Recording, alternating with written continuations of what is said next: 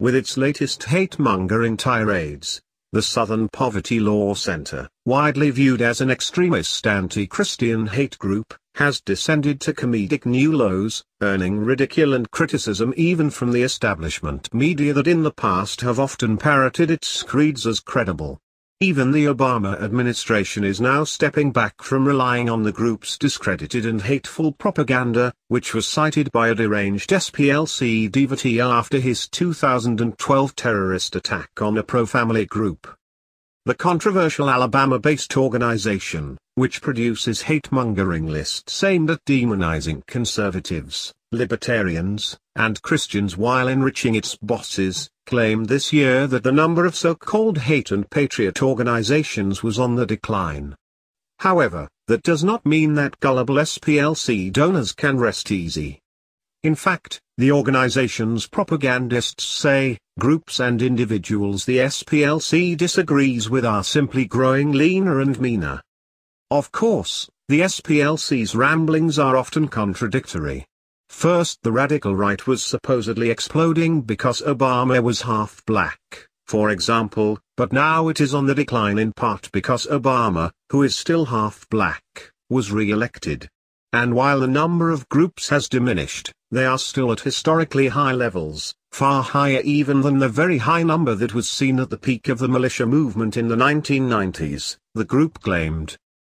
Meanwhile, the SPLC itself has become increasingly discredited, Orwellian, and detached from reality as it seeks to label everyone to the right of Obama an anti-government extremist or even a hate group. Consider that. According to the extreme leftist outfit, opposition to redefining marriage is now a hallmark of what it calls the radical right. As recently as three years ago, However, Obama was still against using government in an attempt to redefine the institution. Was Obama secretly a member of the radical right until recently? The SPLC did not say. After being ridiculed even in the establishment press for including groups like the Granny Warriors on its dubious Patriot list last year, the paranoid outfit continued to find similar scary groups hiding under virtually every bed in America. Many of the alleged patriot groups are actually just websites run by a single person. On its hate lists, meanwhile, the deceptive hysteria is similar, with the SPLC taking a few real hate groups such as every chapter of the KKK it can track down, then interspersing Christian and other mainstream groups it disagrees with among them for added effect. Robert Spencer, who works to raise awareness about radical Islam, lambasted and ridiculed the SPLC tactics as propaganda aimed at soliciting more donations to pay the bloated salaries of its bosses.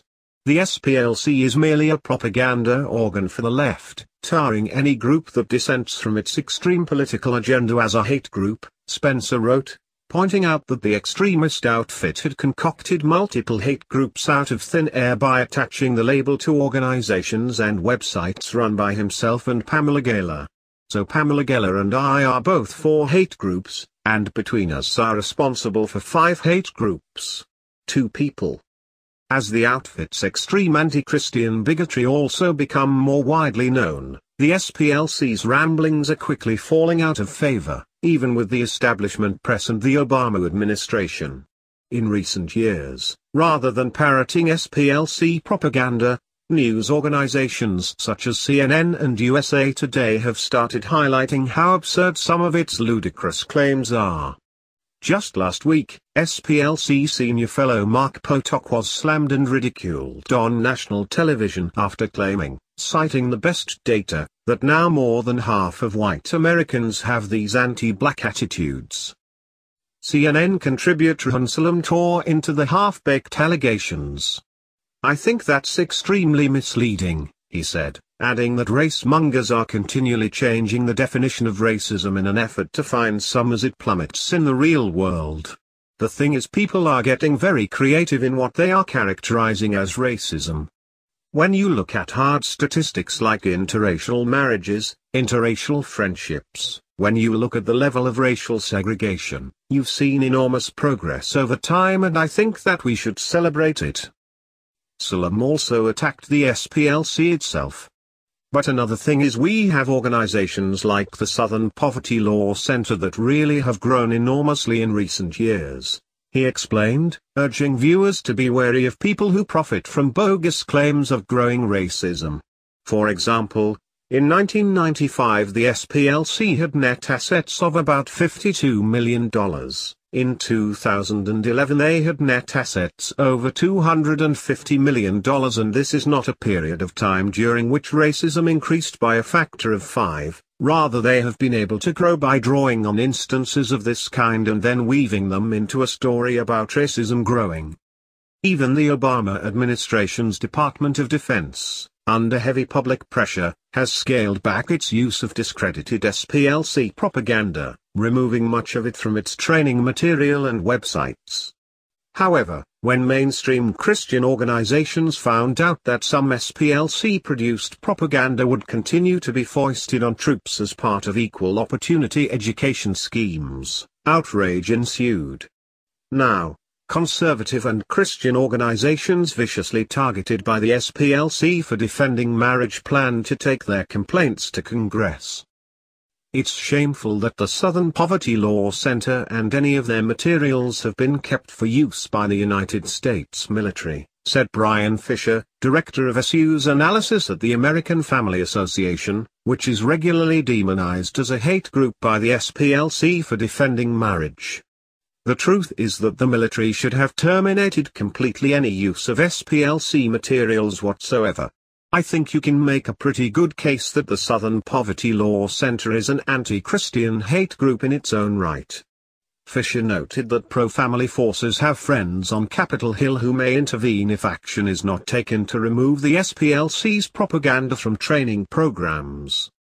Among the fringe SPLC's big concerns in its 2014 paranoid ramblings, like last year, is the supposedly surging influence of conservative organizations such as the John Birch Society, a constitutionalist education group and an affiliate of this magazine that regularly has its chapters across America listed as patriot groups. The latest SPLC intelligence report even includes a whole paranoid propaganda screed blasting the Birch Society and other conservative, liberty-minded groups for raising awareness about controversial UN-linked or inspired programs, and stopping them. The idea, for instance, that the United Nations Sustainability Program known as Agenda 21 is a one-world government conspiracy originated in radical groups like the John Birch Society, the radical group claimed in a separate screed. But in January 2012 the Republican National Committee adopted a resolution describing it as a destructive and insidious scheme that will impose socialist-slash-communist redistribution of wealth on America. The SPLC reports also claim that radical right ideas are now becoming mainstream as top political leaders embrace them. In addition to wild hate-mongering and extremism, the SPLC's latest tirades also contain basic factual errors. The doctrine of nullification, of course, was originally devised as an antebellum defense of slavery and then brought back to life by southern states resisting school desegregation and the civil rights movement, Potok wrote in his most recent ramblings styled an intelligence report. In reality, of course, both Thomas Jefferson and James Madison cited nullification as a proper remedy for unconstitutional federal abuses in the earliest years of the American Republic.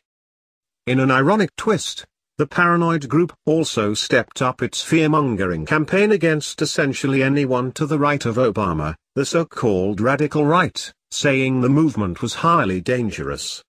The hysteria and paranoia is especially bizarre considering the fact that deranged would-be mass murderer Floyd Corkins cited SPLC propaganda when telling federal agents why he decided to perpetrate a terrorist attack against a pro-family group in Washington, D.C. He has since been convicted.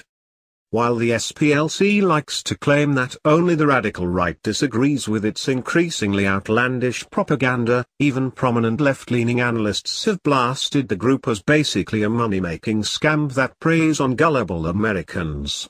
Civil rights attorney and Southern Center for Human Rights President Stephen Bright, citing investigations and even a federal judge, lambasted SPLC founder Morris Dees as a con man and fraud who takes advantage of naive, well-meaning people for his own benefit. The donations might still be flowing, but as the SPLC increasingly becomes a laughingstock, and an inspiration to anti-Christian terrorists, its once relatively significant influence appears to be slowly crumbling. Aside from producing its discredited propaganda reports and scaring people into sending more money, the outfit is also currently working to shut down a small Jewish organization that helps people fight unwanted homosexual attraction.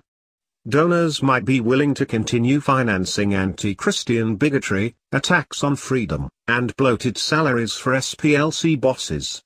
The public, though, seems to be waking up.